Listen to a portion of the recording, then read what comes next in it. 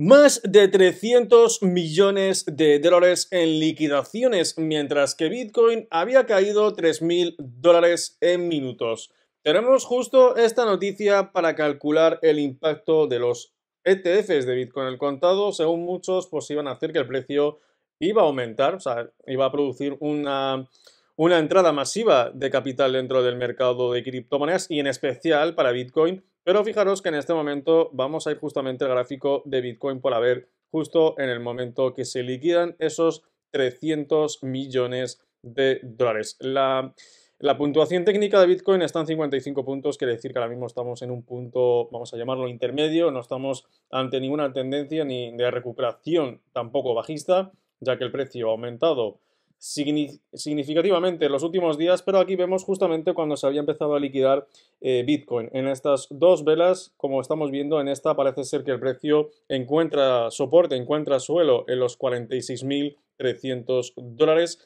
pero no me confiaría mucho porque el precio podría tener otra caída, otra corrección dentro del gráfico de Bitcoin. Y esto es lo que ha hecho que el mercado de criptomonedas también pierda fuerza porque esta misma mañana habíamos visto como el precio del token de XRP que se encontraba por encima del 10%, pero rápidamente ha vuelto a corregir. Estamos ahora mismo en un 5%, si no me equivoco, dentro del gráfico de XRP, un 5,6 y estamos en los 60 centavos. Realmente el precio de XRP se mantiene en la misma línea, habíamos aumentado hacia los 61 centavos, hemos perdido un centavo, pero bueno, seguimos estando realmente eh, fuertes a pesar de esa corrección que ha tenido Bitcoin esta mañana. Y es que había alcanzado, de hecho, los 49.000. Los 49.000, pero ha caído 3.000 dólares. Fijaros con la liquidación que vemos justo en pantalla.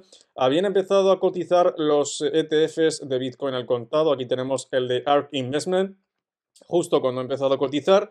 Y aquí también tenemos el eShares Bitcoin Trust ¿vale? Aquí también lo tenemos justo, que se había empezado también a listarse ese ETF, pero sin embargo, en ese momento sí que, sí que hubo entradas de capital dentro de los ETFs, pero lo que ha entrado de capital no quiere decir que haya aumentado el precio de Bitcoin, ha aumentado por un momento, pero rápidamente se ha vuelto a liquidar. ¿Se ha producido una venta en la noticia? Pues podría ser que se esté produciendo ahora mismo una venta en la noticia.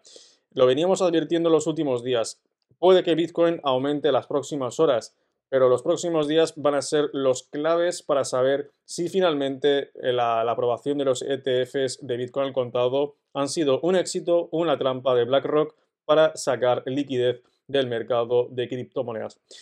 Em, tenemos aparte de esta noticia la siguiente. Vanguard se niega a ofrecer Bitcoin, el ETF de Bitcoin, porque Bitcoin no se alinea con sus filosofías. Y aquí tenemos justamente, hemos buscado Vanguard. Vanguard es una administradora de fondos que no se parece a ninguna otra. Vanguard se fundó, bueno, aquí tenemos información, pero vamos, es una administradora de fondos. Así que aquí tenemos el rechazo de Vanguard a los ETFs de Bitcoin al contado. Em, al fin y al cabo, la liquidación era inminente dentro del mercado de criptomonedas. Tampoco es una gran liquidación, ¿eh? O sea, ha caído un poco el precio, hemos tenido una pequeña liquidación Em, van a ser claves. Repito, las próximas horas o los próximos días veremos a ver si finalmente lo que se produjo es una venta en la noticia o finalmente el precio de Bitcoin continúa con su recuperación. Yo por lo menos pienso que en las próximas horas em, podemos tener perfectamente alguna que, otra, alguna que otra corrección porque el precio de Bitcoin no ha terminado de culminar. Quiere decir que a pesar de la aprobación y la cotización en bolsa, aún así el precio de Bitcoin no ha podido sobrepasar los 49.000, no ha llegado a los 50.000, por lo tanto ahí tiene un techo y es posible que se produzca más liquidación.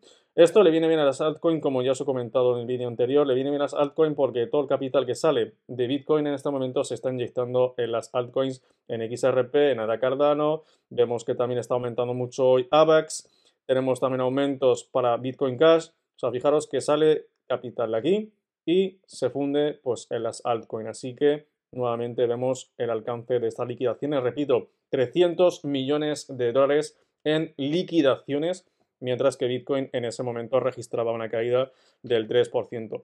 Consecuencias del ETF, pues aquí lo tenemos. El precio de Bitcoin ha sido muy volátil en el primer día de negociación del ETF, ya se encuentran en bolsa, El día, el, día, 10 perdón, de enero es un día histórico para los bitcoiners, ya que se ha conseguido la aprobación del ETF, no solamente para los bitcoiners, sino también para el mercado de criptomonedas. Repito que no solamente está el ETF de Bitcoin, está también el de Ethereum, está también próximamente, es posible que tengamos el de XRP, pero no os preocupéis porque os voy a hacer otro vídeo en el cual ha habido, eh, ha habido declaraciones importantes en las cuales han dicho que el ETF de XRP no se espera en este 2024. No te preocupes, te voy a hacer otro vídeo para, que, lo entiendas bien. Como siempre, mantenemos los vídeos cortos, concisos, breves, concisos, con la información necesaria y justa para que no, te, no se te haga muy pesado el vídeo y que te enteres de todo lo que está pasando dentro del mercado de criptomonedas. Así que nada chicos, espero hasta el vídeo os ha gustado, dejar vuestro like y hasta el siguiente vídeo.